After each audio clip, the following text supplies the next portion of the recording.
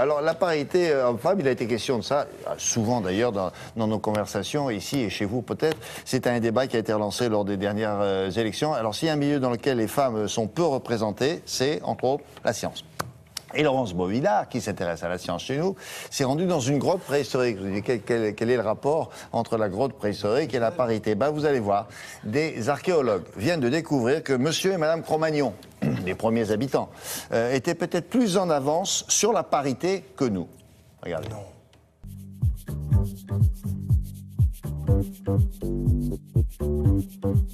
Durant des siècles, les femmes ont été écartées des disciplines scientifiques. Et s'il y a bien une spécialité qui a été jalousement gardée par les hommes, c'est la paléontologie et l'anthropologie, des disciplines nées au 19e siècle, à l'époque où le modèle bourgeois était à la mode et les femmes restaient en cuisine ou à s'occuper des enfants. Mais aujourd'hui, des chercheurs ont découvert dans ces grottes ornées vieilles de 20 000 ans que les artistes, en fin de compte, n'étaient pas que des hommes préhistoriques, mais des femmes préhistoriques.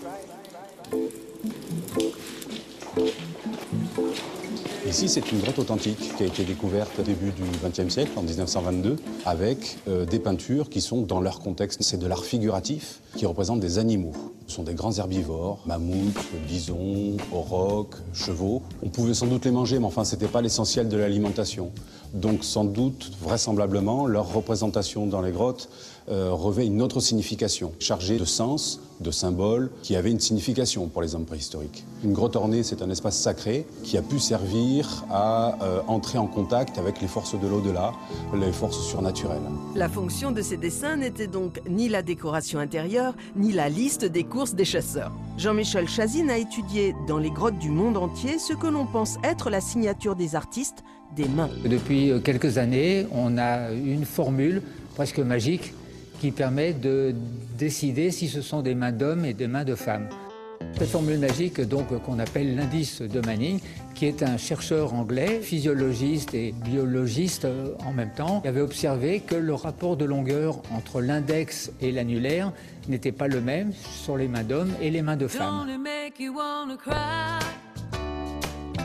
L'indice de Manning, donc, c'est le rapport de longueur entre l'index de la main et l'annulaire. En pratique, on s'est aperçu que quand il est égal ou supérieur à 1, c'est une main de femme, et quand il est nettement inférieur à 1, c'est une main d'homme.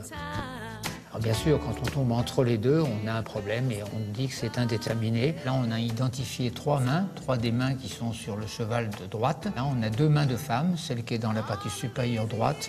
Donc là, ici, on a un indice qui est supérieur à 1, donc c'est une main de femme. Ici aussi, c'est supérieur à 1, donc c'est également une main de femme. Et là, par contre, c'est nettement inférieur à 1, donc c'est une main d'homme.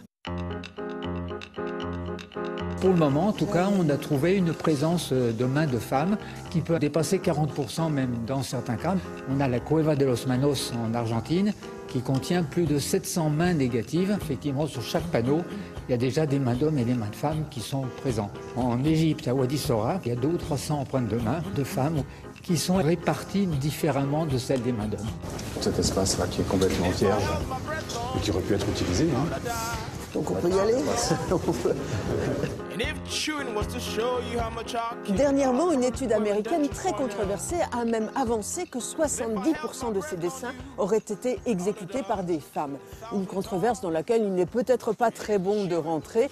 Le tout est de savoir que dans la société préhistorique, la parité homme-femme était respectée.